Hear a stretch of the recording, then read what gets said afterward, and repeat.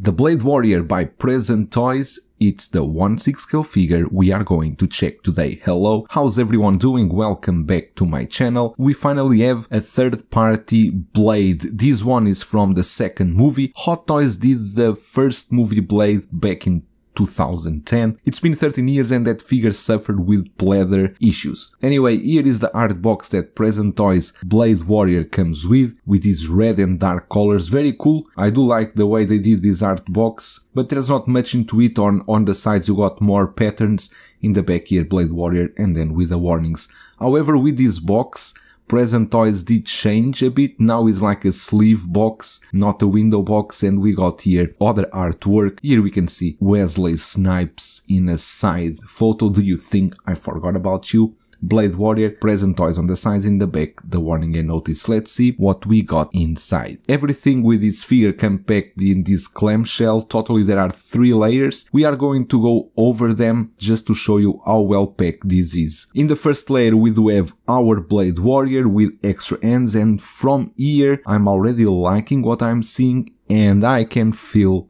the leather, the genuine leather smell coming from his coat. In the second layer we do have a huge display base and we got then all accessories that we are going to cover right now but let me take everything out and put it in the light box. Here we have all the accessories that our blade comes with. After checking it out it looks like that most of these accessories are the same that Hot Toys did back in 2010. This is everything we have we are going now to check them closer and to give my first opinion on it. And here we got the hands.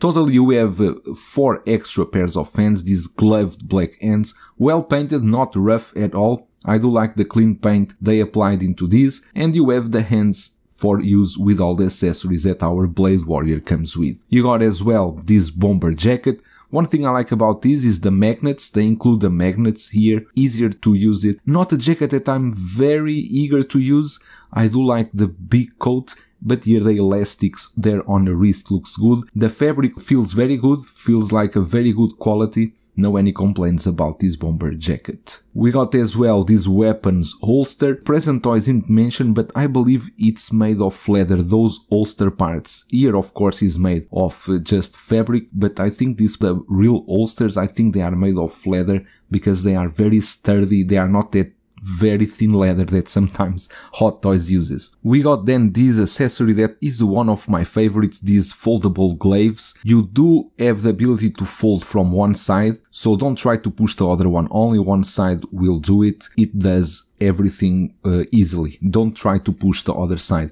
The paint application is good, I just don't like so much the paint application on the center is a bit rough, but it's so tiny that you don't notice. We also have then these extended blades, you can push them out and then you just need to find a position to fix them or else they will go back. Then you got here the elastic then to attach into his wrist. It's better to be elastic than like this, but as I was saying, blades they come out but you need to find a position for uh, where they will stay in place but I do like the work they did with this. We got then Blade Ingram MAC-10 modified submachine gun. I do like the work they did with this. I wouldn't mind a bit of more weathering into it, looks too clean, but you have here the cartridge you can put out. There's no any movement here on the gun, but looks cool, looks clean. We got then the two USP and guns. There is no moving parts, but I do like the detail they did here on the handle. Those patterns over there look very, very good. Paint application is good, no any complaints, and these weapons can go directly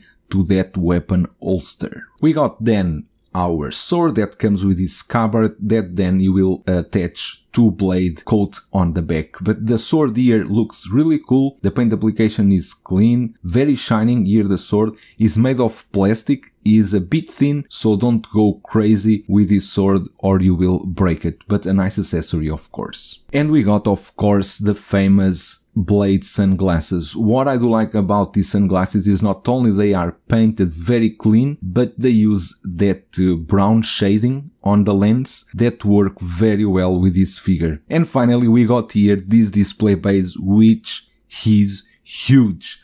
I didn't know that they were going to do such a huge display base. You can compare with the normal Star Wars display base from Hot Toys and you can see the size of this display base. You have a lot of space for the poses you want to do, takes a bit of space on your display cabinet, but a good design and I like this uh, display base. Taking a closer look now at our figure and starting with the head sculpt, it's basically what we saw two or three weeks ago that Present Toys shared a photo. I think that this head sculpt looks really, really good. Very well painted.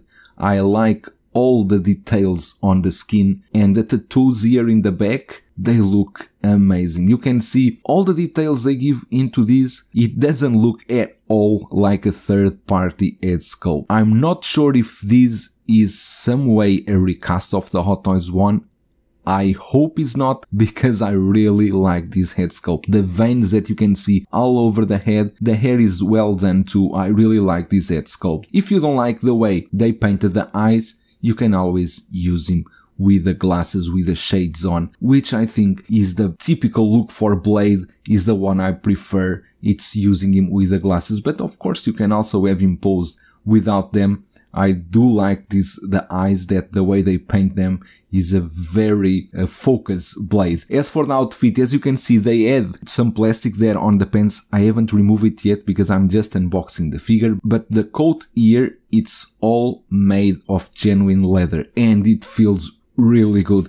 Way better than the Indiana Jones I reviewed before. This leather doesn't look very thick, looks really good. The chest here, this front part, it's not leather. This is kind of a rubber material and plastic. Inside you got a normal uh, shirt and all these parts here are made of plastic. You got a belt underneath that I haven't pushed it out. The pants are also made of genuine leather. The outfit looks beautiful, the coat, the pants, everything. The boots, however, it would be better if they could be double cut boots, but I think to not damage the leather, Present Toys did just a single piece on the boots. But later I'm going to remove that because that's where we have the vampire stakes. That's why they use this plastic not to damage the leather on the pants and it's better they do it this way. The coat here in the back you can see only to show you the pants as well. They have a pocket there, but here the coat looks really, really cool in the back. And here you can see where will you assemble then